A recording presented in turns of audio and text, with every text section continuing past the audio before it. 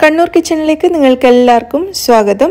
Chicken കുറുമയാണ് ഇന്ന് നമ്മൾ ഉണ്ടാക്കാൻ പോകുന്നത്. നല്ല പെർഫെക്റ്റ് ആയിട്ടുള്ള ഒരു റെസിപ്പിയാണ് നിങ്ങൾ ഒരു പ്രാവശ്യമെങ്കിലും ഇത് ഉണ്ടാക്കി നോക്കുകയാണെങ്കിൽ നിങ്ങൾക്കത് മനസ്സിലാവും. ഭയങ്കര രുചിയുള്ള ഒരു ചിക്കൻ കുറുമയാണ്.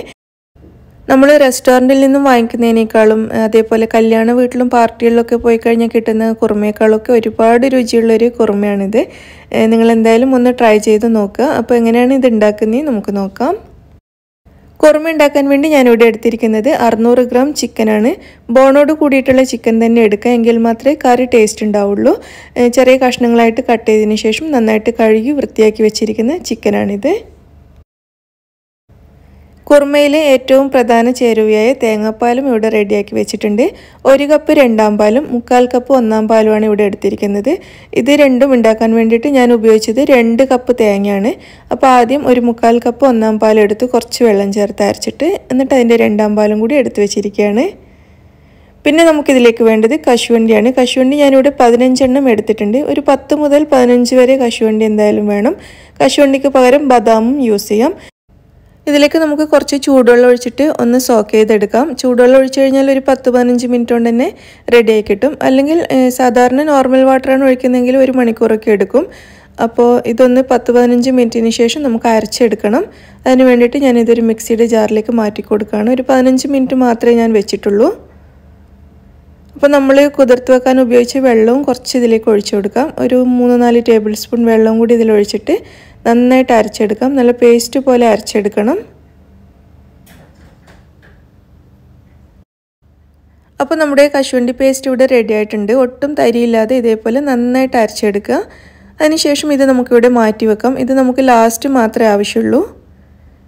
ഇനി ഒരു പാൻ അടുപ്പത്ത് വെച്ചിട്ട് ചൂടായി വരുന്ന സമയത്ത് അതിലേക്ക് ഏകദേശം ഒരു ടേബിൾ സ്പൂൺ അല്ലെങ്കിൽ ഒരു ഒന്നര ടേബിൾ സ്പൂൺ വരെ ഓയിൽ ചേർത്ത് കൊടുക്കാം. ഞാൻ വെളിച്ചെണ്ണ തന്നെയാണ് ഉപയോഗിക്കുന്നത്. നിങ്ങൾക്ക് ഇഷ്ടമുള്ള ഓയിൽ ഉപയോഗിക്കാം. ഇതിലേക്ക് രണ്ട് സവാള നേരിയതായിട്ട് അരിഞ്ഞത് ചേർത്ത് കൊടുക്കാം. മീഡിയം സൈസിലുള്ള രണ്ട് സവാളയാണ് എടുത്തിരിക്കുന്നത്. ഇതിലേക്ക് രണ്ട് പച്ചമുളക് നെടുകെ കീറിയത് ചേർക്കാം. ഒരു ടീസ്പൂൺ വെളുത്തുള്ളി അരിഞ്ഞത് ചേർത്ത് കൊടുക്കാം. ഒരു അര ടീസ്പൂൺ വരെ ഇഞ്ചിയും കൂടി ചേർത്ത് കൊടുക്കാം. എന്നിട്ട് ഇതെല്ലാം കൂടി നന്നായിട്ട് വഴറ്റിയെടുക്കാം. ഈ സവാളയുടെ കളർ മാറി നല്ലൊരു ഗോൾഡൻ കളറാകുന്നത് വരെ വഴറ്റണം. അതേപോലെ തന്നെ സവാള കരിഞ്ഞു പോവാതെ ശ്രദ്ധിക്കുക. കരിഞ്ഞു പോയാൽ നമ്മുടെ കറിക്ക് ചെറിയൊരു കയ്പ് വരാൻ ചാൻസ് ഉണ്ട് അതുകൊണ്ട് തുടർച്ചയായിട്ട് ഇളക്കിയിട്ട് നല്ലൊരു ഗോൾഡൻ കളറാക്കി എടുക്കാം. ഇപ്പോൾ കണ്ടില്ലേ നമ്മുടെ സവാള നന്നായിട്ട് വഴറ്റി നല്ലൊരു ഗോൾഡൻ കളറായി മാറിയിട്ടുണ്ട്. ഇത്രയും മതി. കൂടുതൽ ബ്രൗൺ ആയി കഴിഞ്ഞാലും കയ്പ് വരാൻ ചാൻസ് ഉണ്ട്. അപ്പോൾ ഈ സവാളയും ഇതൊക്കെ ഒന്ന് തണുത്ത് വന്നിട്ടുണ്ട്. തണുത്ത് കഴിയുമ്പോൾ നമുക്കിതൊരു മിക്സിയുടെ ജാറിലേക്ക് മാറ്റി കൊടുക്കാം.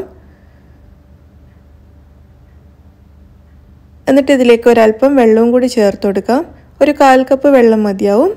എന്നിട്ട് ഇത് നന്നായിട്ടൊന്ന് അരച്ചെടുക്കാം. അപ്പോൾ നമ്മുടെ സവാളയുടെ പേസ്റ്റും ഇവിടെ റെഡി ആയിട്ടുണ്ട്. നല്ല കട്ടിയിൽ ഇതേപോലെ തിക്കായിട്ട് തന്നെ അരച്ചെടുക്കുന്നതായിരിക്കും നല്ലത്. ഇതും നമുക്കിവിടെ മാറ്റി വെക്കാം. ഇനി നമുക്ക് ചിക്കൻ കുറുമ ഉണ്ടാക്കാൻ വേണ്ടി തുടങ്ങാം. അതിന് വേണ്ടിയിട്ട് ഒരു പാത്രം അടുപ്പത്ത് വെച്ച് ചൂടായി വരുന്ന സമയത്ത് ഏകദേശം ഒരു രണ്ട് ടേബിൾ സ്പൂൺ വരെ ഓയിൽ ഇതിലേക്ക് ഒഴിച്ചു കൊടുക്കാം. ചൂടായ എണ്ണയിലേക്ക് രണ്ട് പട്ട ചേർത്ത് കൊടുക്കാം. ഒരു മൂന്ന് ഏലക്കായും മൂന്ന് നാല് ഗ്രാമ്പും കൂടി ഇതിലേക്ക് ചേർക്കാം.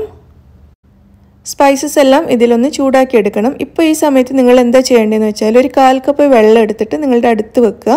കാരണം നമ്മൾ ഇനി ഇതിലേക്ക് പൗഡറാണ് ചേർക്കാൻ പോകുന്നത്. അപ്പോൾ എണ്ണയിലേക്ക് പൗഡർ ചേർത്ത് കഴിഞ്ഞാൽ പെട്ടെന്ന് കരിഞ്ഞു പിടിക്കാൻ ചാൻസ് ഉണ്ട്. അതുകൊണ്ട് ഫ്ലെയിം നല്ലോണം ലോ ആക്കി കൊടുക്കുക. ഇനിയിപ്പോൾ ഓഫ് ചെയ്താലും കുഴപ്പമൊന്നുമില്ല. ഒന്നുകിൽ ഓഫ് ചെയ്യുക അല്ലെങ്കിൽ ലോ ഫ്ലെയിമിൽ വെക്കുക. എന്നിട്ട് കുറച്ച് വെള്ളവും കൂടി അടുത്തെടുത്ത് വെച്ചതിന് ശേഷം മാത്രമേ പൊടികൾ ചേർക്കാവൂ. കാരണം നമ്മൾ എണ്ണയിലേക്ക് ഡയറക്റ്റ് പൊടി ചേർക്കുമ്പോൾ പെട്ടെന്ന് കരിഞ്ഞു പിടിക്കാൻ ചാൻസ് ഉണ്ട്. പൊടി കരിഞ്ഞാൽ പിന്നെ നമ്മുടെ കറി ഒന്നിനും കൊള്ളില്ല. അതുകൊണ്ട് നല്ലോണം ശ്രദ്ധിച്ച് മാത്രം പൊടികൾ ചേർക്കുക. പുതുതായിട്ട് കുക്ക് ചെയ്യുന്ന ആൾക്കാർക്ക് വേണ്ടി പറയുന്നതാണ് കേട്ടോ. സ്ഥിരമായിട്ട് ചെയ്യുന്നവർക്കൊക്കെ അറിയാവുന്ന കാര്യമാണ്. ഇനി നമുക്കിതിലേക്ക് ഒരു മുക്കാൽ ടേബിൾ സ്പൂൺ മല്ലിപ്പൊടി ചേർക്കാം. ഒരു കാൽ ടീസ്പൂൺ വരെ മഞ്ഞൾപ്പൊടി ചേർത്ത് കൊടുക്കാം. അര ടീസ്പൂൺ കുരുമുളക് പൊടിയും കൂടി ചേർത്തിട്ട് പെട്ടെന്ന് തന്നെ ഇതെല്ലാം കൂടി എണ്ണയിലേക്കിട്ട് നന്നായിട്ട് വഴറ്റിയെടുക്കാം. ഒരു അര മിനിറ്റ് വരെ ഇതേപോലെ ഒന്ന് വഴറ്റി കൊടുക്കുക. ഫ്ലെയിം ഓഫ് ചെയ്തിട്ടാണ് ചെയ്യുന്നതെങ്കിൽ നിങ്ങൾക്കൊന്നുകൂടി നല്ലതായിരിക്കും. എന്നിട്ട് നമുക്കിതിലേക്ക് കുറച്ച് വെള്ളം ചേർത്ത് കൊടുക്കാം. ഒരു രണ്ട് ടേബിൾ സ്പൂൺ വരെ വെള്ളം ചേർത്തിട്ടുണ്ട്. എന്നിട്ട് നന്നായിട്ടൊന്ന് മിക്സ് ചെയ്യാം. ആവശ്യമാണെങ്കിൽ ഒരല്പം കൂടി ചേർത്ത് കൊടുക്കാം. ഞാൻ മൊത്തത്തിൽ ഒരു മൂന്ന് ടേബിൾ സ്പൂൺ വെള്ളം ചേർത്തിട്ടുണ്ട്. എന്നിട്ട് ഈ പൊടികളുടെ പച്ചമണം മാറാൻ വേണ്ടിയിട്ട് ഇതേപോലെ കുറച്ച് സമയം ഇളക്കി കൊടുക്കാം. ലോ ഫ്ലെയിമിൽ വെച്ചിട്ട് മല്ലിപ്പൊടിയൊക്കെ ഇങ്ങനെ റോസ്റ്റ് ചെയ്ത് നല്ലൊരു കളറായിട്ട് കിട്ടണം. ആ സമയത്ത് നമ്മൾ അരച്ച് വെച്ച ഉള്ളിയുടെ പേസ്റ്റ് സവാളയുടെ പേസ്റ്റ് ഇതിലേക്ക് ചേർത്ത് കൊടുക്കാം. കശുവണ്ടി പേസ്റ്റ് അല്ല കേട്ടോ അത് നമുക്ക് ലാസ്റ്റ് മാത്രമേ ചേർക്കണ്ടൂ സവാളയുടെ പേസ്റ്റ് ചേർത്തിട്ട് നന്നായിട്ട് മിക്സ് ചെയ്യാം.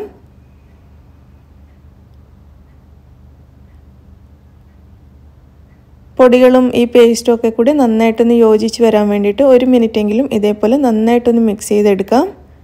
അതിനുശേഷം നമ്മൾ ഈ സവാള അരച്ച മിക്സിയുടെ ജാറിലേക്ക് ഒരു കാൽ കപ്പ് വെള്ളം ചേർത്തിട്ട് അതും കൂടി ഇതിലേക്ക് ഒഴിച്ചു കൊടുക്കാം. എന്നിട്ട് വീണ്ടും നന്നായിട്ട് മിക്സ് ചെയ്തെടുക്കാം.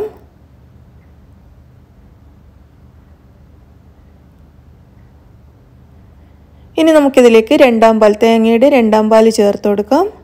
എന്നിട്ട് വീണ്ടും മിക്സ് ചെയ്തെടുക്കുക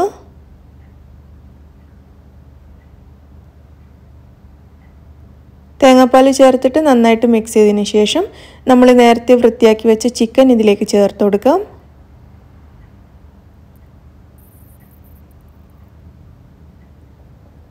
മുഴുവനും ചേർത്തിട്ട് നന്നായിട്ട് മിക്സ് ചെയ്തെടുക്കാം. ഈ സമയത്ത് നമുക്കിതിലേക്ക് ആവശ്യത്തിനുള്ള ഉപ്പ് ചേർത്ത് കൊടുക്കാം. നമ്മൾ ഇത്ര വരെയും ഇതിൽ ഉപ്പ് ചേർത്തിട്ടില്ല. ഇനി ഇതിലേക്ക് ആവശ്യത്തിനുള്ള ഉപ്പും കൂടി ചേർത്ത് നന്നായിട്ട് മിക്സ് ചെയ്യാം. നന്നായിട്ട് മിക്സ് ചെയ്തിട്ട് ഇതൊന്ന് തിളച്ച് വരുന്ന സമയത്ത് നമുക്കിതിവിടെ അടച്ചു വെക്കണം. കറി തിളച്ച് തുടങ്ങിയിട്ടുണ്ട്. ഇനി ഇത് നമുക്കിവിടെ അടച്ചു വെക്കാം. അടച്ചു വെച്ചിട്ട് ഒരു ഇരുപത് മിനിറ്റ് നമുക്കിത് വേവിച്ചെടുക്കാം. ലോ ടു മീഡിയം ഫ്ലെയിമിലിട്ടിട്ട് വേവിച്ചാൽ മതി. ഒരു ഇരുപത് മിനിറ്റെങ്കിലും വേവിക്കുക അപ്പോഴേക്കും ചിക്കൻ നന്നായിട്ട് വെന്ത് വരും. കറി കുറച്ചൊന്ന് തിക്കായിട്ട് കിട്ടുകയും ചെയ്യും. ഇരുപത് മിനിറ്റിന് ശേഷം നമുക്കിത് തുറന്ന് നോക്കാം. നമ്മളിതിൽ ചേർത്തിരിക്കുന്ന ചിക്കനൊക്കെ നന്നായിട്ട് വെന്തിട്ടുണ്ട്. കറി ഒരല്പം ഒന്ന് വറ്റി വന്നിട്ടുണ്ട്. ഈ സമയത്ത് നമുക്കിതിലേക്ക് കശുവണ്ടിയുടെ പേസ്റ്റും കൂടി ചേർത്ത് കൊടുക്കാം. എന്നിട്ട് നന്നായിട്ട് മിക്സ് ചെയ്യാം.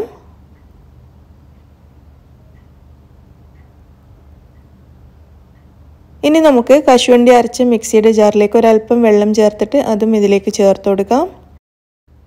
അര ടീസ്പൂൺ ഗരം മസാല പൊടിയും കൂടി ഈ സമയത്ത് ചേർത്ത് കൊടുക്കാം. എന്നിട്ടെല്ലാം കൂടി നന്നായിട്ടൊന്ന് യോജിപ്പിച്ചെടുക്കുക. നന്നായിട്ട് മിക്സ് ചെയ്തതിന് ശേഷം നമുക്കൊരു അഞ്ച് മിനിറ്റ് കൂടി ഇതിങ്ങനെ ഒന്ന് വേവിച്ചെടുക്കാം. അപ്പോഴേക്കും ഈ കറി നല്ല തിക്കായിട്ട് കിട്ടും. കശുവണ്ടി പേസ്റ്റ് ചേർത്ത് കഴിഞ്ഞാൽ പിന്നെ കറിക്ക് നല്ലൊരു കൊഴുപ്പ് കിട്ടും. അപ്പോൾ ഒരു അഞ്ച് മിനിറ്റ് നമുക്കിതിങ്ങനെ ഒന്ന് തിളപ്പിച്ചെടുക്കാം.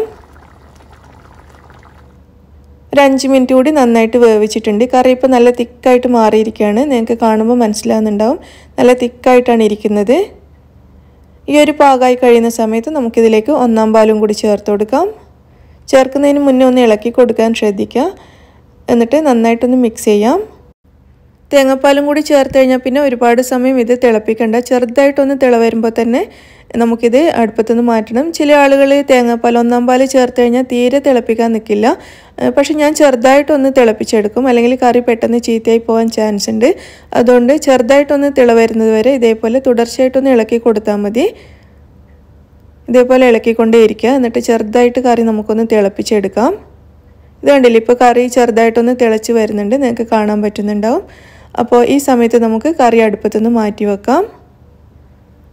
മാറ്റി വെച്ചിട്ടും കുറച്ച് സമയം ഒന്ന് ഇളക്കി കൊടുക്കുന്നത് നല്ലതായിരിക്കും. ആ നല്ല ചൂടുള്ളപ്പോൾ കുറച്ച് സമയം ഒരു മിനിറ്റ് വരെ ഒന്ന് ഇളക്കി കൊടുക്കാം.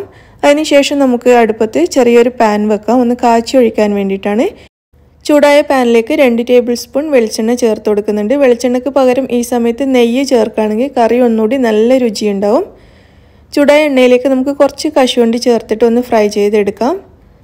ഒരു പത്ത് കശുവണ്ടിയൊക്കെ മതിയാവും.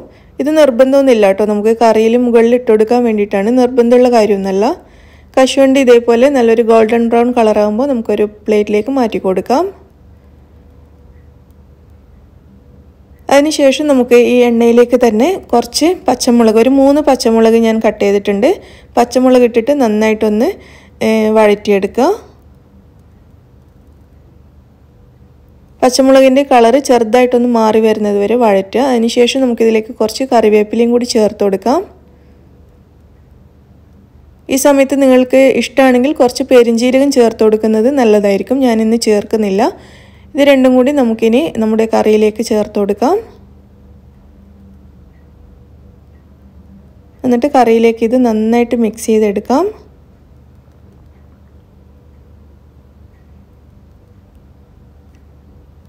അങ്ങനെ നമ്മുടെ ടേസ്റ്റി ചിക്കൻ കുറുമ ഇവിടെ റെഡി ആയിട്ടുണ്ട്. നമ്മൾ വറുത്ത് വെച്ച കശുവണ്ടി നമ്മൾ വിളമ്പുന്ന സമയത്ത് മുകളിൽ ഇട്ട് കൊടുക്കുന്നതായിരിക്കും നല്ലത്. കാണാൻ നല്ല ഭംഗിയുണ്ടാവും. അത് നിർബന്ധമൊന്നുമില്ല കേട്ടോ. ഒരു ഭംഗിക്ക് വേണ്ടിയിട്ട് മാത്രമുള്ളതാണ്. അപ്പോൾ നമുക്കിത് ചൂടോട് കൂടിയിട്ട് തന്നെ ഒരു ബൗളിലേക്ക് വിളമ്പാം.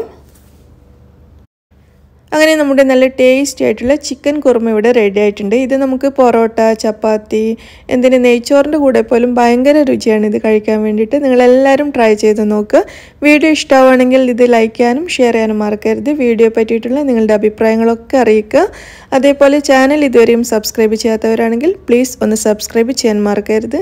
താങ്ക്